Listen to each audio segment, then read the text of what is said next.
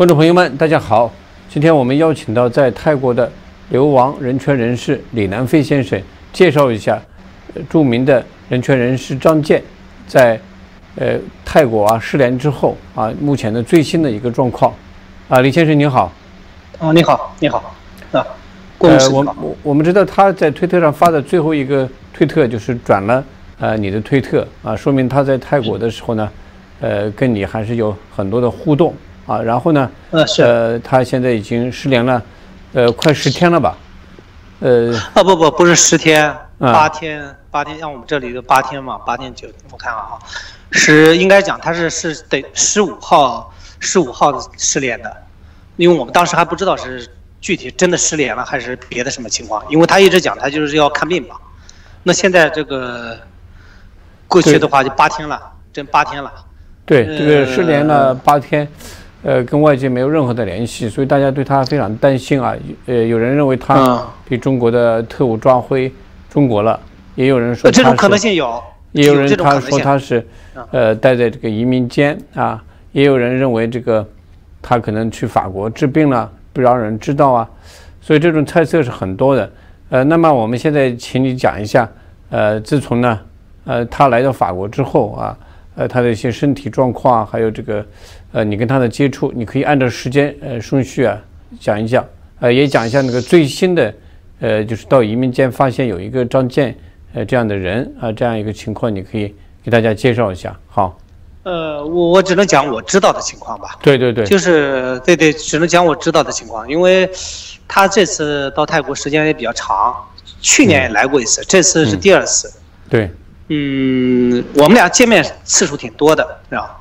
嗯可能有可能是见我最多，因为我们俩虽然观点不一样，但是他，呃，就是还还可以聊到一块，就是可以争吵，但是基本上没什么问题。他在这里呢，也没有什么其他的朋友，或者是他想见的人，对吧？所以我们就只就就只好跟我去多见了几面，有的时候聊，反正观点都不一样，就吵一吵，是吧？然后结果十四号的下午的话，三点多吧，嗯我们俩就是已经商也商量好，完了之后一块呃做做个直播。其实本来是想要辩论，但是他身体又不太好，是吧？嗯然后也是有一句没一句，就是就是你你鸡说鸡，鸭说鸭，就这样情况。然后结果嗯录了一个多小时，一个多小时呢，然后完了之后呢，他我们俩就去约好，说是现在有点晚了，因为他那个身体一直不好，他的身体状况呢，就是他跟我描述的讲的情况，就是一个他是感冒之后呢出现了肝积水，哦嗯，那我的我的感觉就是肝积水的话就就这般很严重，肝肝不会随便积水，积水那就是很严重，最起码什么乙肝什么之类的，它才会出现这种情况。嗯啊，说肝硬化什么之类的会出现肝积水，是吧？这是最基本的信息吧。然后他就跟我讲呢，他这个，呃，他不，嗯，他有一个就是常年的一个毛病，就是那个糖尿病啊，糖尿病啊，有糖尿病。嗯对。然后这一次呢，就很奇怪，我们最后一次见面，呃，不，还不算最后一次见面，因为最后一次见面和中间见面的还还中间还有一个，呃，隔了隔了几天。呃，嗯因为他过两天又给我打电话，又说你你你来来来来，我们一块的，呃，那我就我就我就过去了，然后所以我们就快录的音。他当时讲的是他马上要走了，呃，回回法国了。嗯然后呢，结果我倒数第二次看到他的时候，他是胳膊说是直接肿得很大，拿个东西扛。我说怎么回事呢？这个还打架了还是怎么着？他说没有，空调吹的，空调吹着完了之后，他觉得就是酸痛嘛，嗯。酸痛，然后他就在那个呃地铁上面，然后那个地铁上有那个杆子，那个杆杆子嘛，他就撞了，哎，撞了几下啊，结果撞了就直接肿了，肿了他就找人按摩，一个按摩他就更严重了。啊。就就是这么个情况，所以没有其他猜测，不是说是受呃是其他受刑啊什么之类的，所以一切都看起来非常正常，非常非常正常。什么，我们感觉的话都来两次了嘛，这一次待这么长时间，还有什么危险，对吧？嗯就是这种感觉，我我们也是很大意。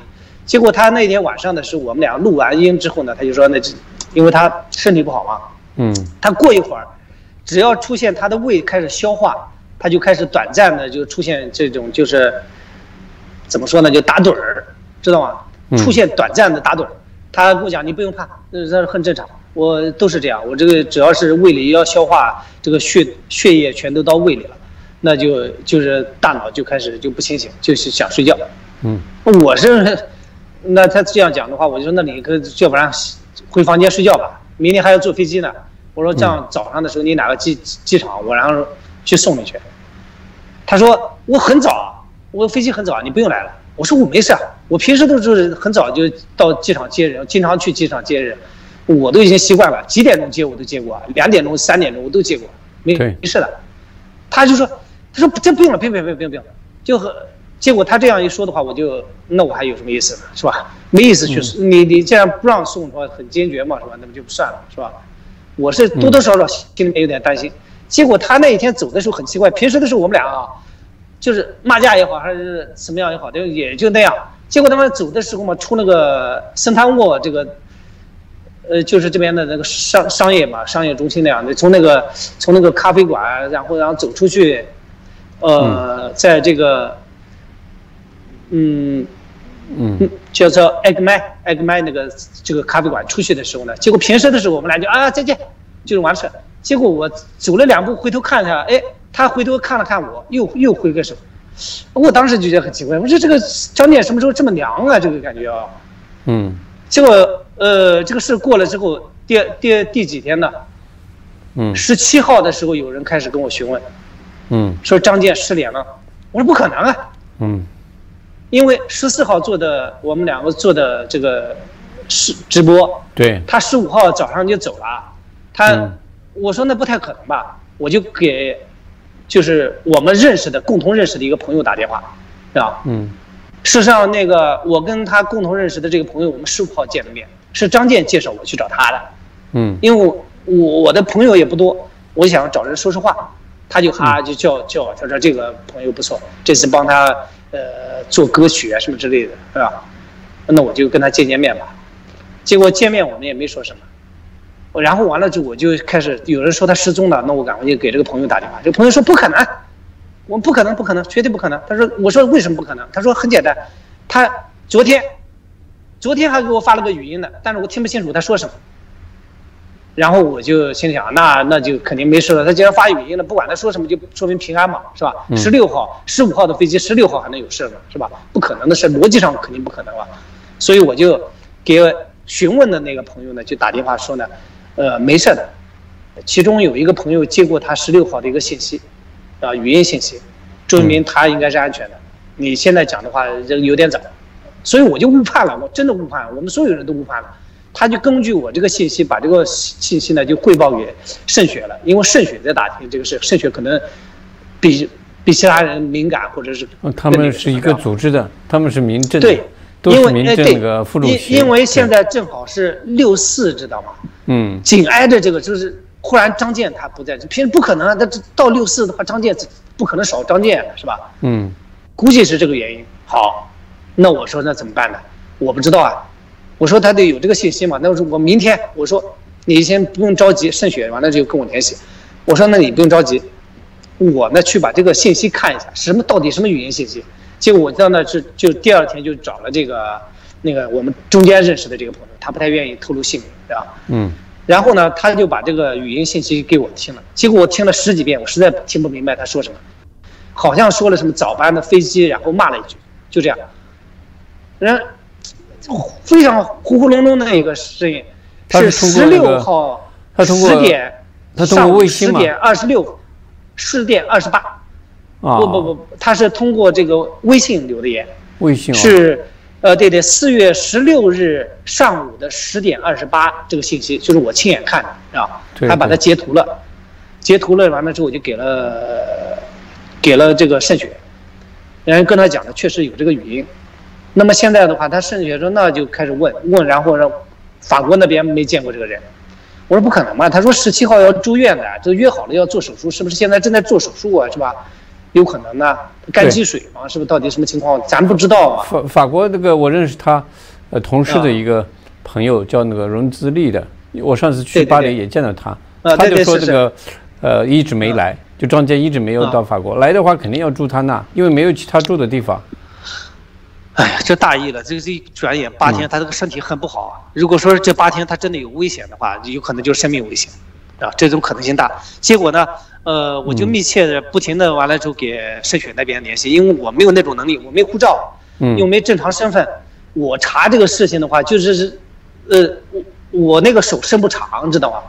所以我也很着急，我心想这怎么办呢？然后结果慢慢的，也网上也有一些人到各种猜测，我就更着急。他们都认定说是我是最后跟他联系的人。我说其实不是，他后面的话跟跟这个另外一个，是吧？我们共同认识的这个朋友跟他有联系。结果那，盛雪在后面的时候跟我讲的，我说讲的你先不用着急。他说现在呢还有四条信语音信息现在找到了，他给另外一个也是不愿意透露姓名的人，给他了四条语音信息，上面很明确的说了一件事情，就是张健呢十五号那一天早上到飞机到机场，拿着机票进去，然后结果机场的人员认定他的机票信息没有在机场电脑里面，所以拒绝他登机。张健就非常生气，因为他身体不好嘛，他就可能跟机场的人员有点小冲突，然后他就买了一重新买了一张票，买张票，结果当天没有去巴黎的机票，他就说在语音上说的，他买了一个去安曼，就是说约旦首都安曼的时候这个机票，呃，然后从安曼再转机到到法国，然后可能就在安曼。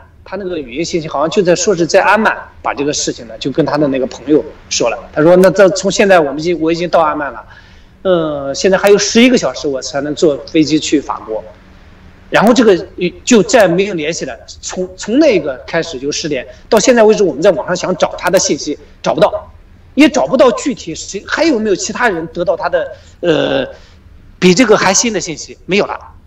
然后我们就开始，那就着真着急了，那就真着急了。那你我这个约旦首都的话，我就离我们更远，我就更没那个能力能搭的到那里。我我就是个普通政治难民，是吧？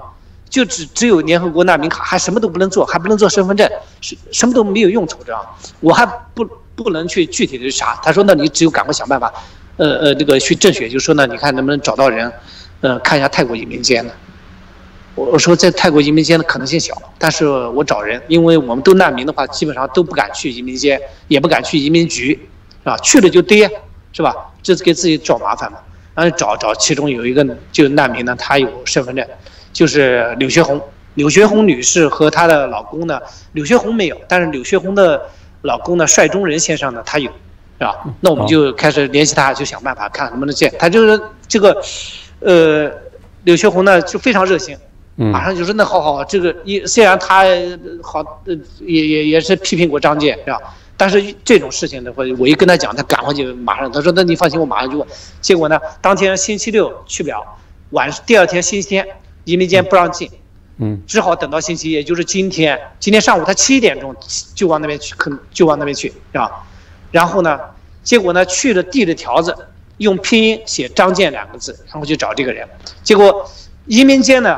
刚开始就说呢，有这个人有，因为我们在外面，我完全是听别人描述，听他描述，我们不敢靠近那些地方，知道吗？只能在外面远远等。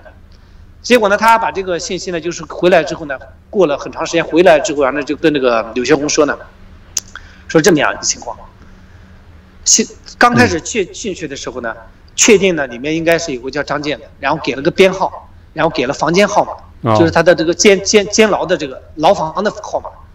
然后就就让他进去了，他就拿这个条子等，结果等了二十多分钟没有，也没有人接见，他就只好过来询问，说是怎么回事，因为语言也不通嘛。结果那个人呢就让他出去，他就出来了，出来了又想，而且把条子给收了，他想进去不让进，结果这条子拍了个照片，我们就留下了这个条子，也就证明一件事情啊，里面有一个叫张建的，但是不是我们找的张建不知道，完全不知道啊，有一个编号，这个编号很重要。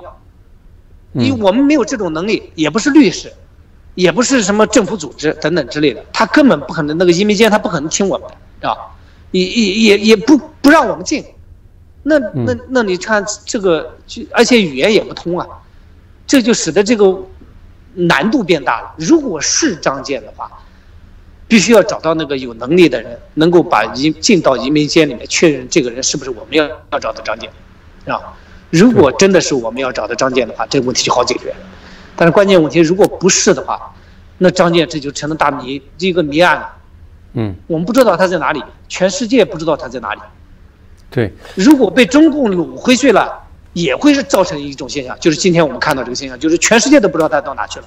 中共是会干这个事的，而且完全他有这个能力干这个事。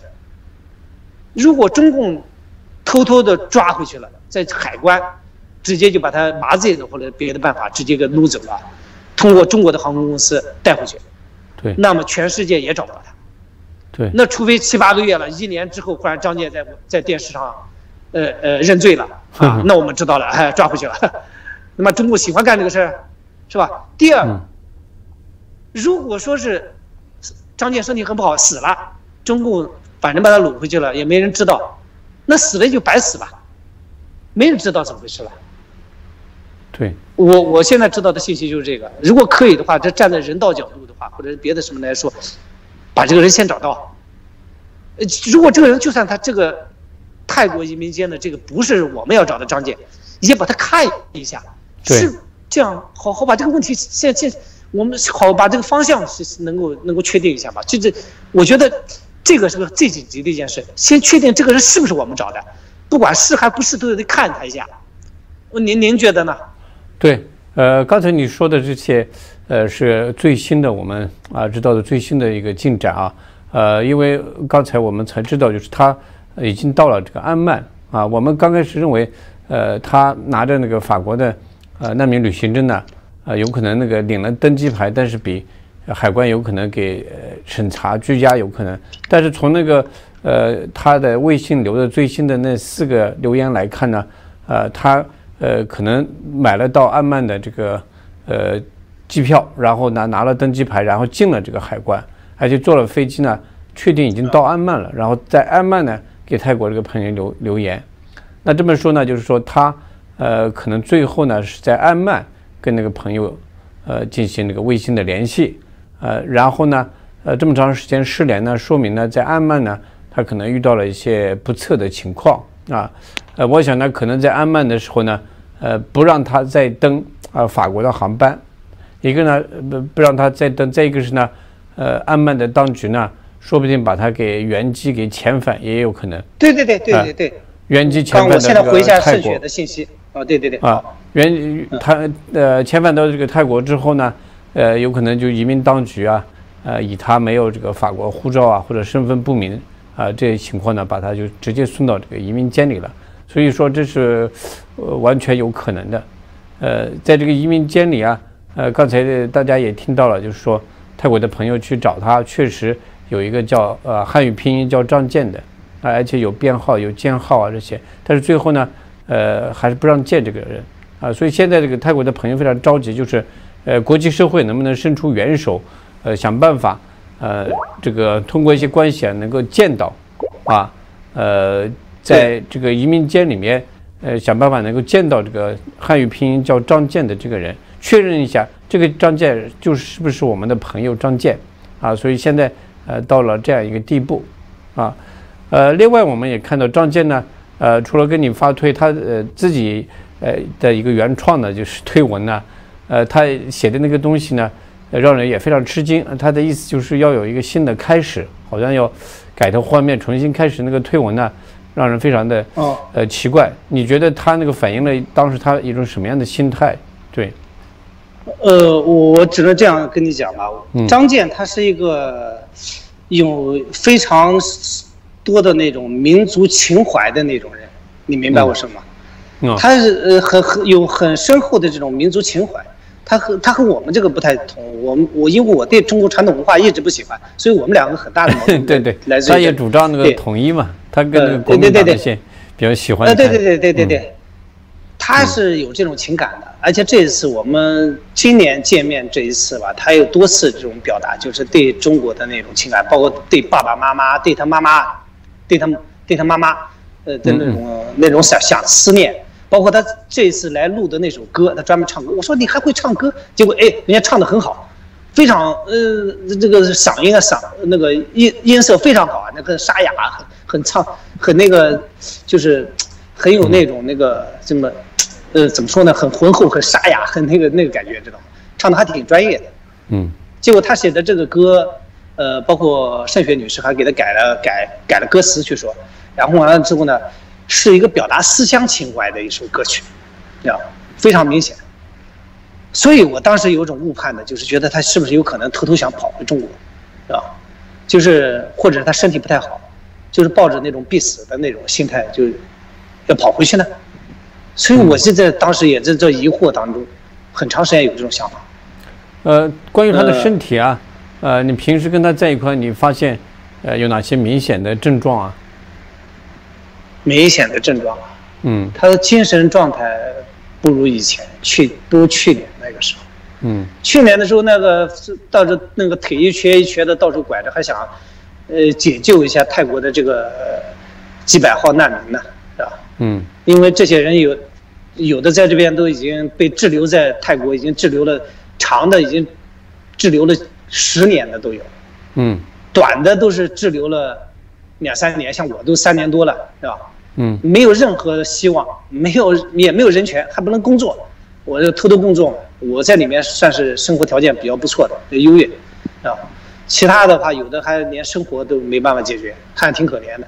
他就是那种性格嘛，所以他也完了之后，当然他来了那一次，结果呢，因为泰国这边，那我是呃这个难民和难民之间经常会有各种各样的争执、吵闹，包括指责，包括还有就是，呃，就就那么回事儿吧，这样？嗯呃，以我的角度来看呢，就是我们大家都是精神病，真有点精神上不对劲，因为毕竟被迫害的嘛，都多少都是迫害，而这种安全这种没有被解除，所以大家都呈现出精高度紧张的那种精神病状态，那种受害者，呃，妄想症的那个那个样子，非常非常非常明显，知道吧？我在这明显有这种感觉，就我平时的时候也会担心啊，我我也会在大街上看别人看我眼神，有没有可能是来抓我的？其实。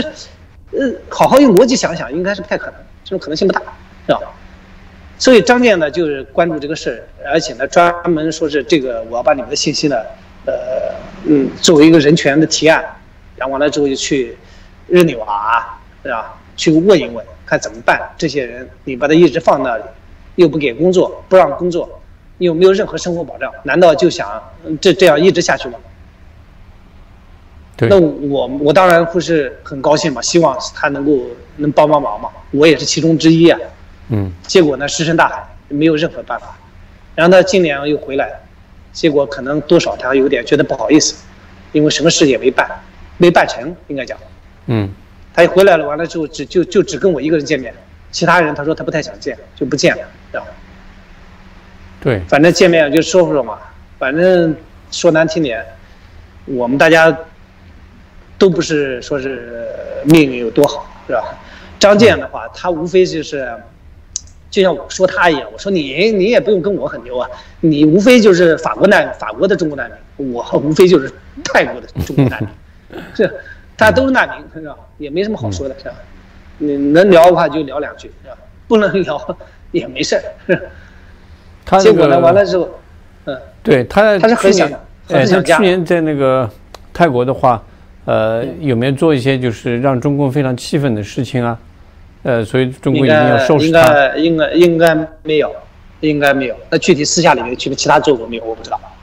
应该，嗯我我不能讲确确确确定啊，因为去年的时候我跟他见了，只见了三次，啊，嗯见的次数不不是很多，而且呢，况且他私下里做什么我不知道呀。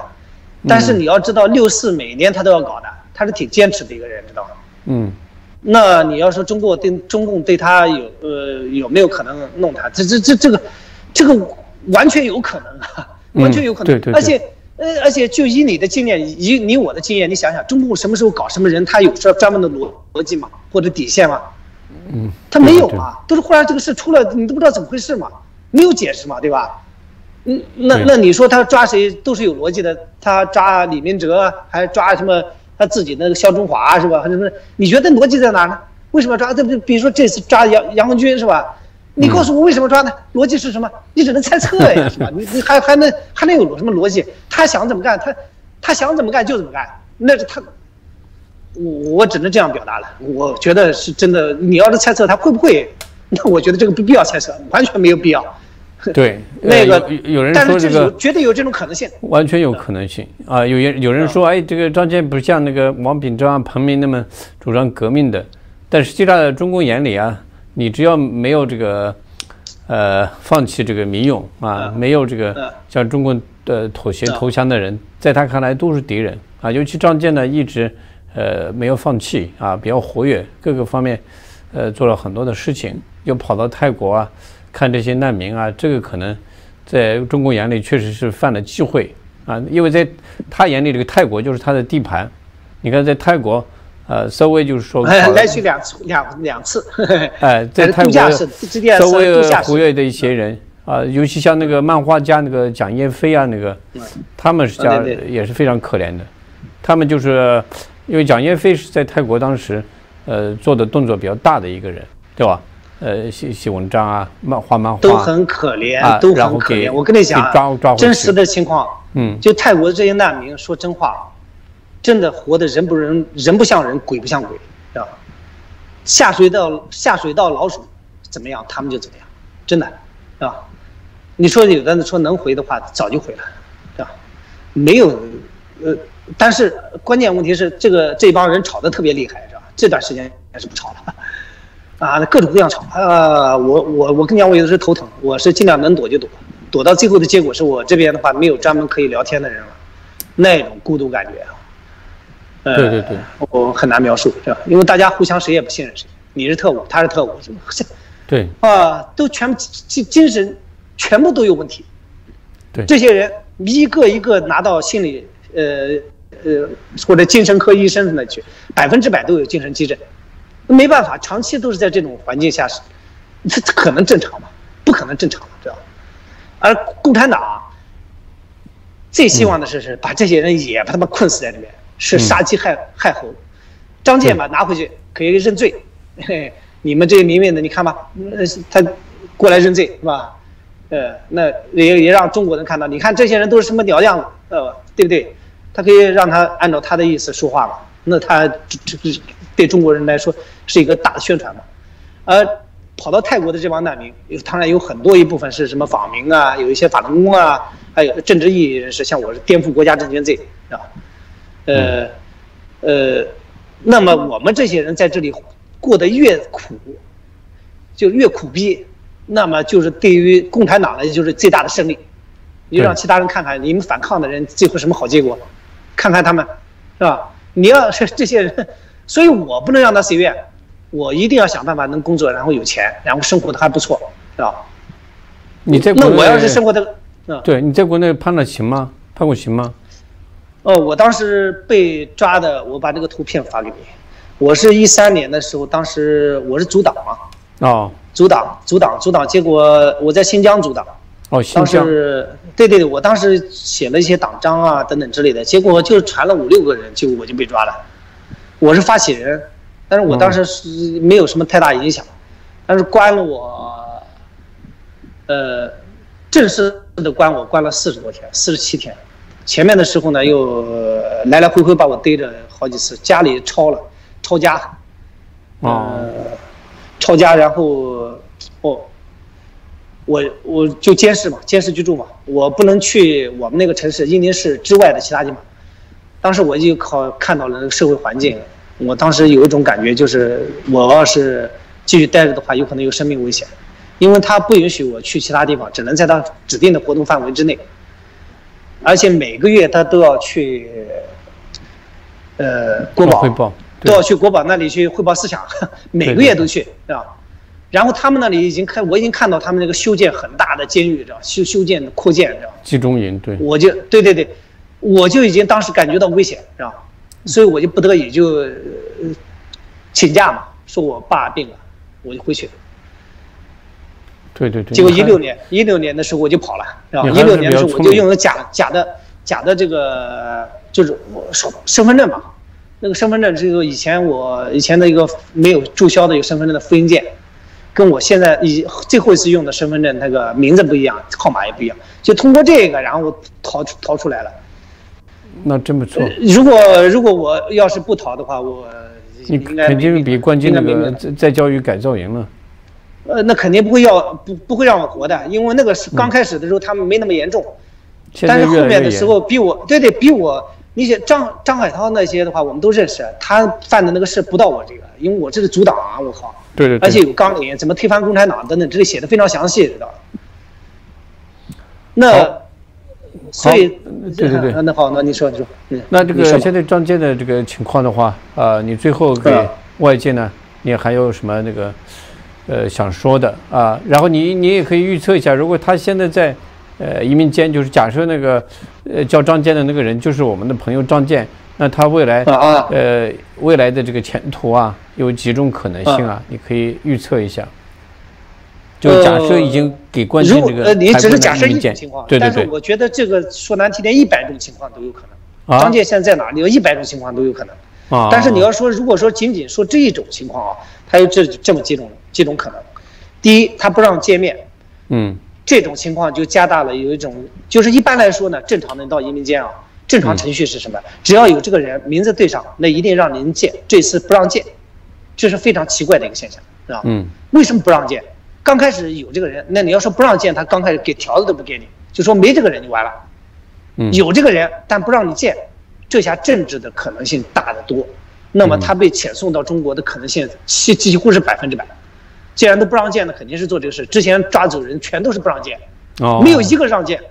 所有的规律，包括江野飞，包括董广平，包括所有的人，嗯。